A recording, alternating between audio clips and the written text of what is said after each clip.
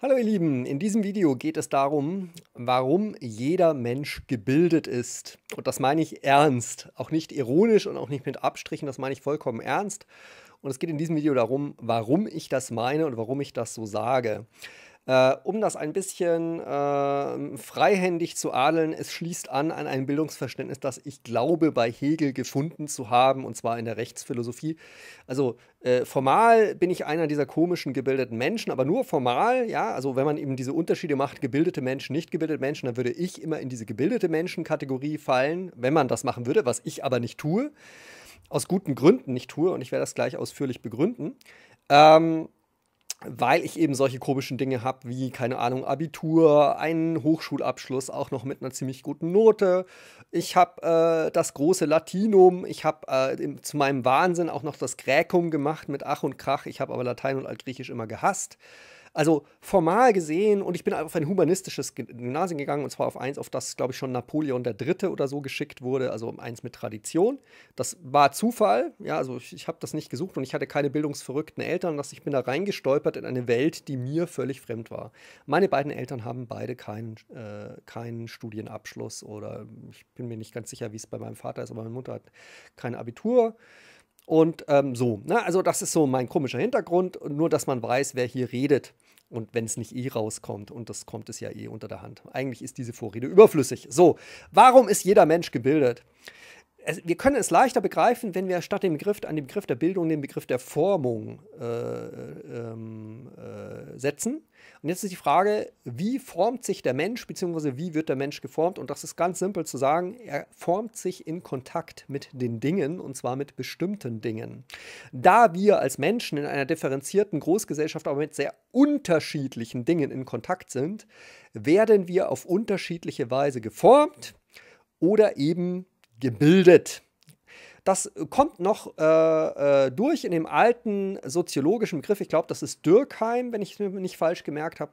Äh, Formation professionell, heute abgelöst durch die sehr viel bekanntere Deformation professionell, die man freihändig manchmal ins Deutsche übersetzt mit, mit Berufskrankheit. Das ist also dieses berühmte Ärzte sehen überall Krankheiten, Polizisten sehen überall Verbrecher, Lehrer sehen überall zu belehrende Menschen.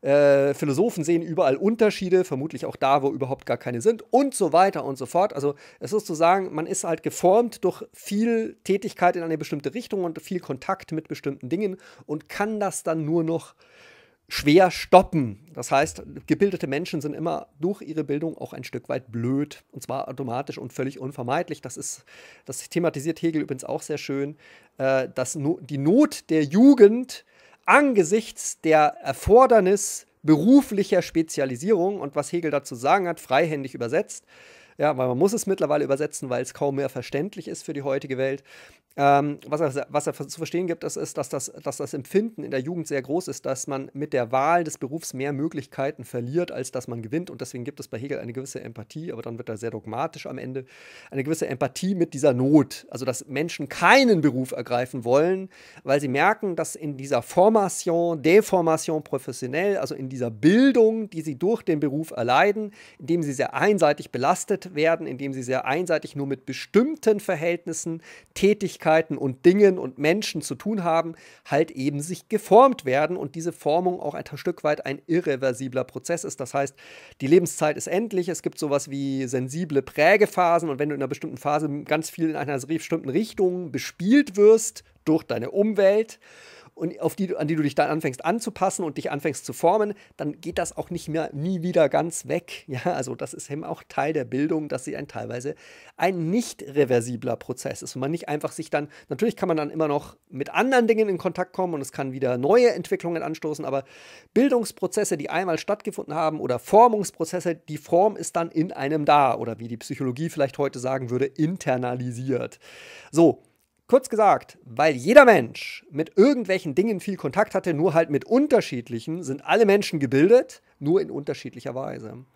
Interessant ist an dieser Bildungsbegriff eigentlich immer etwas anderes gewesen, nämlich, dass dieses Hochhalten von Bildung im Standardsinne, nicht so wie ich hier rede im Anschluss an Hegel, im, im Standardsinne, also wie normalerweise über Bildung geredet wird, ist immer von bestimmten Menschen sehr hochgehalten wurde und kurz gesagt, es wurde immer von der Aristokratie äh, hochgehalten. Soweit ich informiert bin, ist schon seit der griechischen Antike die Bildungsidee und der Bildungsgedanke ein durch und durch aristokratisches Oberschichtskonzept gewesen. Das heißt auch ein Konzept, um sich von allen anderen Mitbürgern gezielt abzusetzen. Und das hatte bei den alten Griechen sehr stark den Kontext, dass nur die Oberschicht relativ frei war von Alltagsarbeit, ja, also von der Notwendigkeit, zum Beispiel auf die Jagd zu gehen, fischen zu gehen, auf Raubzüge zu gehen, wobei das die Aristokraten sehr gern gemacht haben, soweit ich das mitgekriegt habe, oder eben ein Handwerk zu erlernen, aus dem und vor allem Landwirtschaft zu betreiben. Das mussten die Aristokraten nicht, aus verschiedenen Gründen, und deswegen hatten sie Zeit, sich zu bilden.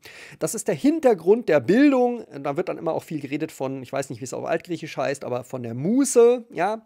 Also in der, bei den alten Griechen gibt es zumindest der Aristokratenklasse eine große Aristokratenklasse eine große Arbeitsverachtung und ganz anders als heute, ja, wo die Arbeit gehypt wird und das, sondern sozusagen frei war der Mensch, der nicht arbeiten musste und äh, Arbeit war für Sklaven und Niedere und äh, äh soweit, soweit ich das mitgekriegt habe, ähnlich wie vielleicht heute, vielleicht aber auch nicht, wurden Handwerker extrem verachtet. Von, es war die unterste Schicht in der Bürgerschaft, ja, die Handwerker und an ähnliche. Also, also was ich sagen will, unser heutiges Bildungsgelaber ist ein Aristokratenkonzept und es ist immer, immer mit einem Wertunterschied verbunden. Über Bildung werden Wertunterschiede zwischen Menschen gemacht, ja, also der höher gebildete Mensch sei wertvoller als der niedriger gebildete Mensch und ich bin ein Feind dieser Wertunterschiede zwischen Menschen. Und daher auch meine Rede davon, dass alle Menschen gebildet sind, nur auf unterschiedliche Weise. Und ich weiß, das widerspricht zum Beispiel solchen Dingen, dass Leute sagen, ja, aber irgendwie, man soll auf eine bestimmte Weise reden können und man muss mathematisch das oder jenes können, sonst irgendwie alles ganz schlimm. Nee, muss man nicht. Ja, wir leben in einer differenzierten Gesellschaft. Für bestimmte Tätigkeiten brauchst du das überhaupt nicht und kommst trotzdem prima klar. Und es gibt reihenweise hochintelligente und super angepasste Leute, die zum Beispiel dauerhaft gebrochenes Englisch, gebrochenes Deutsch oder irgendwie gebrochene andere Sprache lernen, ganz einfach deswegen, weil wir bestimmte Sprachen fehlerfrei ab einem bestimmten Alter kaum noch erlernen können, bis auf so ein paar Leute, die mit einer Art Sprachgenie auf die Welt gekommen sind, aber das sind verschwindend wenige Menschen. Also, soweit ich das mitbekommen habe in meinem Leben, endet die Phase, in der die allermeisten von uns eine Sprache akzentfrei und fehlerfrei lernen können, im Alter von 10, 11, 12 Jahren. Danach wird es richtig, richtig schwer, eine Sprache so zu lernen, wie sie ein Native spricht. Ja, man kann es manchmal, wenn man ganz lange in dem Land lebt und ein Sprachtalent hat, kann man, können es manche, aber das sind wenige. Und insofern ist es total normal, dass wenn man zum Beispiel migriert oder in ein anderes Land geht, dass man halt dann einen Akzent hat und äh, bestimmte Zusammenhänge, die bestimmte Feinheiten nie so richtig raus hat oder äh, notorisch bestimmte Betonungsfehler, Grammatikfehler macht. Das ist normal und das sagt nichts über die Intelligenz oder die Fähigkeiten eines Menschen und es ist eben auch überhaupt nicht notwendig, zum Beispiel fehlerfrei zu sprechen, um verstanden zu werden oder um in einem bestimmten sozialen Kontext zu funktionieren. Das ist nicht notwendig, entgegen der Vorstellung von manchen sehr, sehr konservativen, sehr, sehr aristokratischen Bildungshubern, ja, die Bildung wahnsinnig hochhalten anders als ich das tue. Also, wie man vielleicht hören kann, habe ich eine bisschen äh, oder eine auch sehr ausgeprägte Bildungsverachtung, aber nur eben für den Standardbegriff von Bildung, wo man natürlich immer sagen kann, ja, du kannst das sagen, weil du bist ja privilegiert, weil eben ne, humanistisches Gymnasium, Abiturstudium, Altgriechisch, Latein, tralala, ja. Ähm, was übrigens alles nicht sagt, ich, mir sind schon reihenweise Leute begegnet, die das auch alles haben und die ich für strunzdumm halte, zumindest was bestimmte Dinge angeht. Also ich finde nicht, dass zum Beispiel Leute, die ein Studium haben, automatisch intelligent sind oder auch nur klug oder weise oder fähig zu irgendwas. Dazu sind mir zu viele Leute mit irgendwelchen Abschlüssen begegnet, die ich bestimmte Tätigkeiten nicht machen lassen würde, mal ganz vorsichtig ausgedrückt, oder in bestimmte Positionen niemals besetzen würde, weil das nicht ihr Ding ist. Diese Leute können natürlich schon Dinge, aber halt andere, weil eben jeder Mensch gebildet ist. Es geht dann halt immer am Ende einfach um Passung. Und Wertunterschiede zwischen uns auf dieser Basis von Bildung zu machen, ist ein absoluter Irrweg und ich würde eben sagen, es ist ein aristokratischer Irrweg. Aristokraten haben das immer versucht, sich abzusetzen über Bildung, weil sie halt Zeit hatten und auch in der heutigen Zeit können halt zum Beispiel bestimmte Leute mit bestimmten Elternhäusern, bestimmten Familien investieren eben in Bildung. Ja, dann kriegen die Leute äh, komische Internate, Eliteschulen oder eben auf humanistische Gymnasien, kriegen Privatlehrer gestellt und müssen in den Geigeunterricht, Klavierunterricht oder sonst was gehen. Keine Ahnung, was man heute macht. Das ändert sich auch ständig mit was man sich absetzen will, aber das so Moden sind, ne? weil das geht dann immer in die Breite. Ja, die Mittelschicht macht es danach, zumindest die gehobene Mittelschicht macht es danach, weil sie zur Oberschicht dazugehören will. Und dann macht die Oberschicht wieder was anderes, um sich neu abzusetzen. Das ist ein ewiges Spiel. Ja, das hört auch nie auf. Also Distinktion wird gesucht von der Oberschicht oder ist auch einfach da. Und sie wird halt vermittelt anderer Dinge immer wieder gelebt. Ja, gestern war es der Klavierunterricht und morgen ist es was anderes. Also das ist albern, das ganze Spiel ist albern und das ist vor allem deswegen albern, weil eben Wertunterschiede eingeführt werden zwischen Menschen. Und da kann man nur fragen, wozu? Ja, wir brauchen verschiedene Fähigkeiten für verschiedene soziale Rollen, wir brauchen verschiedene Fähigkeiten für verschiedene Berufe und bestimmte Dinge brauchst du überhaupt nicht. Es gibt reihenweise Firmen, die mal versucht haben, formell über lauter Leute mit hohen Abschlüssen zu, zu, zu besetzen. Also zum Beispiel, ich glaube, wenn ich nicht jetzt ganz falsch informiert bin, Google war mal bekannt früher, ich weiß nicht, wie sie es heute machen, dass sie nur Leute mit ganz hohen Abschlüssen eingestellt haben, nach der Devise, das ist doch immer gut, und haben dann die Erfahrung gemacht, dass diese Leute ganz dumme Dinge angestellt haben, weil sie zum Beispiel in den Jobs, wo sie dann besetzt waren, Fehlbesetzungen waren und weil es ihnen da gar nicht gut ging. Teilweise waren sie überfordert, teilweise waren sie unterfordert mit den Qualifikationen. Also es wurde nicht auf die Passung geschaut, sondern es wurde der Irrweg gegangen umso höher die Qualifikation, ja, eben im Sinne von höher, niedriger, was überhaupt keinen Sinn macht, ähm, äh, umso besser. Ja? Oder ich sollte mal selber eingestellt werden von der Firma, wo der Chef gesagt hat, IQ-Test. Alle Mitarbeiter, egal auf welche Position, müssen einen IQ-Test machen. Heute weiß ich, dass er eine Ideologie aufgesessen ist. Es gibt nämlich Studien, die sagen, dass bestimmte, äh, bestimmte Arbeits- äh, Eigenschaften, also bestimmte Arten, wie Leute generell Arbeiten erledigen, durch einen IQ-Test prognostiziert werden können. Da geht es also gar nicht um IQ, sondern geht es um bestimmte andere Dinge, die damit verbunden sind, statistisch. Deswegen verstehe ich, warum dieser komische Firmenchef das machen wollte. Äh, das war in, mein, in, meinem Fall der Moment, wo ich das Gespräch beendet hatte. Zum, zum, zum großen Überraschung der beiden Personalerinnen. Wir hatten ein gutes Gespräch. Und im Moment, wo das auf den Tisch kam, dass der Firmenchef in einer relativ großen Mittelständler diktiert als Diktator, dass die Einstellungsprozesse so zu laufen hätten, dass jeder fucking Mitarbeiter, egal auf welcher Position, einen IQ-Test zu machen habe, dann habe ich mit einem IQ von knapp 140 gemessen, ähm, gesagt, äh, ich beende hiermit das Gespräch, weil in einer solchen Firma, die so vorfährt, möchte ich nicht arbeiten. Das war dann sehr lustig, ja. Die haben dann noch ein bisschen gekämpft um mich, aber es war dann schon vorbei. Sehr amüsant, was da so passiert. Also ich kann das rückblickend so erzählen. In der Situation war das alles andere als lustig für mich, ja. Ich hätte sehr gern in einer guten Firma die Rolle ausgefüllt, aber ich habe dann realisiert, dass das keine gute Firma ist, weil eben diese komische Philosophie herrscht. So, was ich sagen will ist, es geht immer um Stimmigkeit, es geht immer um Passung, es geht immer darum, dass zusammenkommt, was zusammengehört und nicht zusammenkommt, was nicht zusammengehört und das Ganze über einen formalen, abstrakten Begriff von höherer, niedriger Bildung pegeln oder regeln zu wollen, ist so stupide, unintelligent und dumm in jeder Hinsicht, dass es eben nur ein Aristokratenträumchen sein kann, das aus einem ganz anderen Motiv heraus entsteht, nämlich aus dem Bedürfnis nach hierarchischer Distinktion, also sich hierarchisch über andere zu erheben, sich hierarchisch abzusetzen. Und dieser Geist beseelt unser ganzes fucking Bildungssystem, so wie es heute ist. Von Anfang an leider heute wird danach gestrebt, sich abzusetzen von den niedrigeren Schichten, also von der niedrigeren Bildung, anstatt zu realisieren, dass es gar keine ungebildeten Menschen gibt. Das heißt, auch alle Leute, die zum Beispiel gar keinen Schulabschluss haben, sind natürlich gebildet. Ja? Auch alle Leute, die einen Mittelschul- oder Hauptschulabschluss haben oder einen Sonderschule, Schul, zur Sonderschule sind, sind natürlich gebildet. Warum?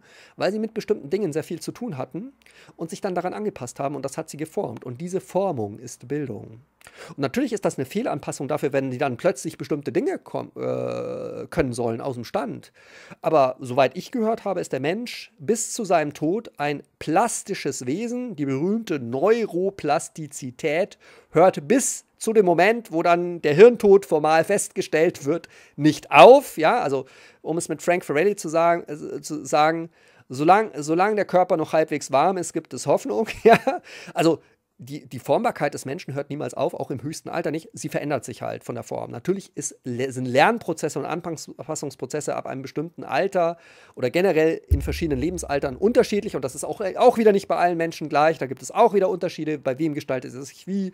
Frühentwickler, Spätentwickler, langsame Lerner, schneller Lerner und dann Teil, in Teilbereichen auch noch unterschiedlich. Also da muss man sehr genau hinschauen und Klischees von Menschen helfen da überhaupt nicht weiter. Man muss sich immer mit dem individuellen Menschen, mit diesem Menschen auseinandersetzen, der gerade vor einem sitzt, steht oder sonst was macht oder arbeitet. Und wie ist das denn bei dem? Also Individualität Rules, ja, beim Thema Bildung, beim Thema Formung. Aber natürlich ist es möglich, dass Leute ganz neue Dinge lernen in allen möglichen Altersstufen, wenn halt die Rahmenbedingungen für sie geeignet sind und gut sind. Und da braucht wieder jeder andere. Und das groß, der große Fehler unserer Gesellschaft ist, dass wir diese Rahmenbedingungen nicht stellen und dann wundern wir uns, warum es nicht funktioniert. Und dann sagen wir, ja, der kann das nicht, der ist zu blöd dafür, der ist zu dumm dafür, der hat nicht den richtigen Abschluss, der hat nicht die Qualifikation, der hat nicht die Grundfähigkeiten, der ist nicht intelligent genug. Das ist das, was wir dann sagen. Aber das sagen wir deswegen, weil wir uns selber entlasten wollen, weil wir keinen Bock haben, die Bedingungen zu stellen, unter denen das sehr wohl möglich wäre, dass bestimmte Leute, wenn sie Bock drauf haben, bestimmte Dinge adaptieren. Entscheidend ist aber immer das Wollen, dass die Leute Bock drauf haben. Und entscheidend dafür ist, dass sie Bock drauf haben können, weil die Bedingungen so sind, dass das ihnen Freude bereitet, dass sie Erfolgserlebnisse haben und dass sie eben an den Bereich so herangeführt werden, dass es eine lustvolle Sache ist, diese Dinge sich anzueignen und sich anzupassen an diese Gegebenheiten, an die Dinge, an die Tätigkeiten, also sich kurz gesagt zu formen oder zu bilden. Bildung und Formung muss Spaß machen, subjektiv für den Menschen. Und das hat eben immer bei jedem Menschen andere Grundvoraussetzungen. Diese Grundvoraussetzungen sind nicht bereit zu stellen.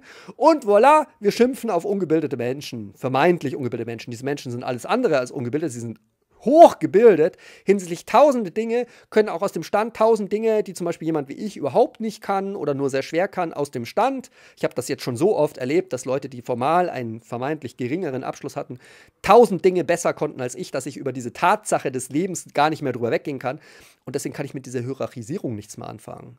Bildung ist kein geeignetes Mittel, um zwischen Menschen Wertunterschiede einzuführen oder Hierarchien einzuführen. Genau das versucht aber unsere Gesellschaft, auch schon durch dieses absolut beknackte dreigliedrige Schulsystem, ja, Gymnasium, Realschule, Mittelschule.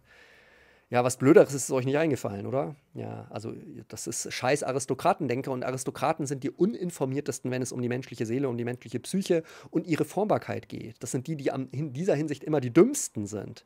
Die haben aber diese Systeme erfunden, unsere Aristokraten, ja. Das war kein demokratischer, menschenfreundlicher Geist, der hinter dem Bildungssystem steckt. Und deswegen ist Schule auch so scheiße. Deswegen sind die meisten Universitäten auch so unglaublich kacke. Ja, deswegen ist auch das ganze Ausbildungssystem so völliger Quark, das wir haben weil das alles keine menschengerechten Systeme geht. Die sind also alle psychologisch unterinformiert. Entwicklungspsychologisch, lernpsychologisch und zwar systemisch. Nicht die einzelnen Menschen darin, sondern das System, wie es funktioniert, hat nichts damit zu tun, wie wir Menschen in der Realität funktionieren, wie die Neuroplastizität funktioniert, wie lustvolle, erfolgreiche Bildungsprozesse funktionieren. Und es ist auch durchdrungen von hierarchischem Geist und Hierarchie ist menschenfeindlich, ja, wie man wissen könnte, wenn man wissen wollte. Ja, also ich kann nur sagen, wo die Aristokratie den Bildungsbegriff bestimmt, wächst menschlich gesehen kein Gras mehr und sind die Menschen sehr viel lernunwilliger und lernunfähiger, als sie sein könnten. Da wird aus der menschlichen Neuroplastizität sehr, sehr wenig gemacht. Wirklich demokratische Gesellschaften wären in dieser Hinsicht ganz anders, aber die existieren derzeit nirgendwo. Ja, das ist also alles leeres Gerede von mir, weil es sozusagen nicht gefüllt ist durch gesellschaftliche Praxis oder gesellschaftliche Realität. Ich kann es also nur vorstellen als eine leere Vorstellung und die Füllung müsste immer in der Realität erfolgen und dann erweist sich eben, ob das, was ich hier erzähle, völliger Nonsens ist, also leere Träume eines Spinners oder ob doch was dran ist. Das müsste sich immer in der Realität zeigen und dazu müsste man es halt mal ausprobieren. Wie hierarchiefreie Bildungssysteme, in denen Bildung kein Distinktionsbegriff ist, kein Distinktionsmechanismus ist, wie die denn so ablaufen würden. Ja, ich kann nur immer wieder darauf hinweisen, das Sudbury Valley School System ist relativ nah dran an dem, was mir vorschwebt. Ja an einem, einem System, in dem Menschen sich tatsächlich aus eigenen freien Stücken bilden. Und wunder was, wenn man ihnen die Bedingung stellt, tun sie es alle. Jeder Mensch möchte lernen. Jeder Mensch möchte Fähigkeiten entwickeln, weil das nämlich eine sehr lustvolle Sache ist, wenn man es nicht kaputt macht. Wenn man geeignete Rahmenbedingungen stellt und nicht vollkommen ungeeignete Rahmenbedingungen stellt, in denen es ständig um Status geht. Den Erwerb von einem höchst, möglichst hohen Status, um dann möglichst gute Berufsoptionen zu haben und ein möglichst gutes Leben zu haben. Ja, so kommt die Dummheit in die Welt, die menschliche Dummheit, auf genau diesen Weg, in dem wir Bildungssysteme, in dem wir Gesellschaft so bauen, dass es in ihnen um Statuserwerb geht. Ja, so, so, wenn man also, wenn eine dumme Gesellschaft, wenn man dumme Menschen will, macht man es so, wie wir es machen, würde ich sagen. Und das Gegengift ist zu sagen, jeder Mensch ist gebildet, egal wie. Es gibt natürlich Tätigkeiten, die sind sehr unangenehm, aber auch die könnten wir darüber nachdenken, wie wir die angenehmer machen könnten. Das ist immer auch eine reine Frage des Willens. Es gibt sehr viele sehr, sehr fordernde Tätigkeiten, sowohl psychisch als auch physisch, die also die Hölle sind, wo man sehr, sehr, schnell seinen Körper oder Psyche kaputt macht, wenn man sie dauerhaft ausübt. Aber da gibt es ja Workarounds. Wenn der, wenn der Wille dazu da ist, die Menschen nicht kaputt zu machen in diesen Berufen, dann kann man Technik entwickeln, dass die Leute nicht kaputt gehen. Dann kann man äh, Verteilungssysteme entwickeln, also sozusagen, wie verteilen wir die Arbeit, wie viele Stunden arbeitet man am Stück und solche Dinge. Wann wird man entlastet durch einen Kollegen? Wie arbeitet man an, wie überarbeitet man generell zusammen in dem Bereich, sodass die Leute halt die Tätigkeit dauerhaft machen können, weil sie ihnen Freude macht und dabei nicht kaputt gehen, dabei nicht draufgehen. Das ist natürlich in jedem Beruf möglich, wenn der Wille dazu da ist. Es ist halt, hat halt einen Preis, es kostet halt. Und den Preis sind wir nicht bereit zu zahlen. Stattdessen machen wir halt systematisch lieber Menschen kaputt. Ja? Also wir machen die ganze Zeit Raubbau an uns selber. Wir sind, das ganze System ist ein einziges raubbeuterisches System in dem Sinne, dass es an die menschliche Substanz geht, dass es die menschliche Substanz erbeutet. Das heißt, das, was Menschen freiwillig bringen, ohne dass es ihnen selber gut täte auf die Dauer, ja, womit sie sich halt dauerhaft selbst schädigen. Und das müsste nicht sein, das ginge auch anders, aber halt nicht in hierarchisch von, von aristokratischem Geist beseelten Systemen. Da ist das nicht möglich. Aristokratie macht immer die Menschen kaputt, ja, dieser aristokratische Geist, der Wertunterschiede einführt. Ganz automatisch und unvermeidlich. Da gibt es tausend ungelöste Folgen, die in einem aristokratischen Mindset nicht gelöst werden können. Und wie gesagt, dieses aristokratische Mindset durchdringt alles, was heute Bildung heißt. Ja? Also wenn ihr heute Leute von Bildung reden hört und nicht dann gleich den Satz mit angefügt bekommt, jeder Mensch ist gebildet, schon per se, dann habt ihr immer Leute vor euch, die nicht wissen, meistens sind sie, sind sie, guten Willens, dass sie Menschen kaputt machen. Sie wollen das nicht, aber sie tun es trotzdem. Also gegen ihren Willen, gegen ihre Absichten tun sie Dinge, weil sie nicht wissen, wie es geht. Sie haben das Know-how nicht, und zwar das menschliche Know-how nicht, weil sie nicht wissen, wie man Menschen behandelt. Sie glauben es zu wissen, aber sie wissen es nicht. Ja? Also so meine Einschätzung. In meiner vollkommenen aristokratischen Arroganz, auf der ich hier sitze ich glaube, es besser zu wissen in meinen, Grenzenlo in meinen eigenen grenzenlosen Irrtümern. Es geht besser. Und es geht halt besser in einem Rahmen, von dem wir davon ausgehen, dass jeder Mensch immer schon gebildet ist und dass jeder Mensch sich immer schon angepasst hat an bestimmte Dinge und wo wir genau damit weiterarbeiten und dann eben fokussieren auf lustvolle Lernerfahrungen, auf lustvolle Bildungserfahrungen entlang des Wollens des Menschen und nicht entlang abstrakter Ziele, die andere formuliert haben. Also nicht entlang von Bildungsplänen, ja, Erziehungsplänen, Lehrplänen, also wann immer ihr im Erziehungsbildungsbereich das Wort Plan hört, bitte lauft davon. Und Leute, die das also unreflektiert auch noch mit großer Begeisterung machen, sind Menschen, die Menschen kaputt machen, automatisch. Oft gegen ihren Willen, wie gesagt, ich werfe ihnen nichts vor, sie wissen es halt nicht besser. Aber das Wort Plan und das Wort Entwicklung widersprechen sich strukturell. Wo geplant wird, gibt es keine Entwicklung, zumindest keine gute. Und äh, wo es Entwicklung gibt, ist man immer prozessorientiert, das heißt, man operiert ohne Plan. Man äh, äh, operiert ganz bewusst ergebnisoffen, weil wenn man ergebnisoffen prozessiert, kriegt man die besten Ergebnisse, paradoxerweise. Ja, also da gibt es einen schönen Satz, nicht der Weg ist das Ziel, sondern das Ziel ist im Weg. Und Pläne setzen Ziele und diese Ziele, die durch Pläne gesetzt werden, sind dann im Weg. Und dann kriegst du halt dumme Leute, die also am Ende nicht gar nicht mehr wissen, was sie selber wollen und warum Lernen Spaß machen kann und die sich gar nicht mehr entwickeln wollen, weil sie von dem ganzen Bildungssystem so frustriert sind, dass sie nur noch davonlaufen, wenn sie das Wort Bildung hören und zwar zu Recht. Und ich bin auch einer davon. Also ich habe keinen Bock mehr auf Bildung. Ja, ich bin gebildet bis zum Abwinken. Wenn ihr mich weiterbilden wollt, dann macht mal interessante Angebote. Ja, ich finde immer noch, dass die interessanteste Bildung ist Learning on the Job. Man springt wo rein und dann versucht man zu schwimmen und dann lernt man halt durch die Fehler, die man macht, durch Trial and Error. Immer noch das beste System. Nett halt, wenn man, wenn man Menschen um sich drum hat, mit denen dann, die man dann um Rat fragen kann in seiner vollkommenen Verzweiflung, also wenn man halt tausend Fehler gemacht hat und äh, wenn es einem schlecht geht und so weiter und hat Leute, die einen halten. Das ist aber auf ein ganz anderes Spiel. Da geht es dann um Beziehungen, da geht es halt um Wohlwollen, da geht es um Empathie, da geht es um empathische Menschen, die man um sich rum hat und die einem halt das ermöglichen, diese Fehler zu machen und nicht immer gleich mit dem Deckel draufhauen, weil man halt gerade eine Lernerfahrung gemacht hat, ja, so, sondern die einen dann halt halten und trösten und wieder aufbauen und dann geht es halt weiter. Und idealerweise machen wir das wechselseitig. Also halten wir uns wechselseitig, haben wechselseitig füreinander Empathie. Und so kriegst du eine lernende Gesellschaft. Aber nicht so, wie wir es halt bisher machen. Das ist ja dieser ganze Pisa-Wahnsinn. Wer sich den ausgedacht hat. Also, ist, ich kann euch sagen, Leute, die sich Pisa ausgedacht haben, sind keine Leute, die Ahnung haben von Menschen. Ja, und es geht aber um Menschen. Also, menschlich gesehen sind Leute, die Pisa machen, die dümmsten angeht. Nur in dem Bereich. Es mögen sehr kluge Menschen für andere Dinge sein, aber von Menschen haben die keine Ahnung. Sie sind menschendumm. Ja. Aber wenn du klug bist, wenn du Ahnung hast von Menschen, machst du nicht Pisa. Machst diese, nicht diese Vergleiche und diese Messungen. Ja, damit machst du Menschen kaputt, damit machst du Bildung zu einem hoch unlustigen, System. Oder wer sich in den Universitäten dieses System ausgedacht hat, jetzt habe ich schon wieder vergessen, äh, wie es heißt, ich habe es verdrängt. Das kam am Ende meines Studiums, wurde das eingeführt. Ah, Bologna-Reform. Ja, liebe Leute, die Leute, die sich die Bologna-Reform ausgedacht haben, auch. Das Dümmste, was man machen kann. Vorher war es gut oder relativ besser. Nach Bologna, hey, Wahnsinn. Wir haben unsere Universitäten kaputt gemacht, richtig kaputt gemacht. Aber gut, es mag auch gute Dinge geben an Bologna, aber der Kern ist schlecht, kann ich ganz eindeutig sagen. So, das sind meine ganz privaten Gedanken, die ich hier teile, meine persönlichen Werturteile, so wie ich mir die Dinge zusammenreime. Ihr könnt gerne das anders einschätzen und anders denken. Liebe Grüße an alle, die anders denken. Fair enough, macht euer Ding, ich mache mein Ding. Und ich kann nur sagen, so denke ich, nicht anders.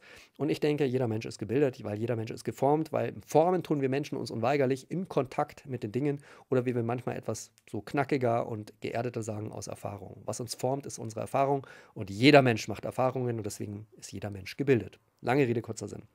Ceterum censio, Isonomiam esse sortiendam. Im Übrigen bin ich der Meinung, dass die Isonomie, dass die Demokratie gelost werden muss.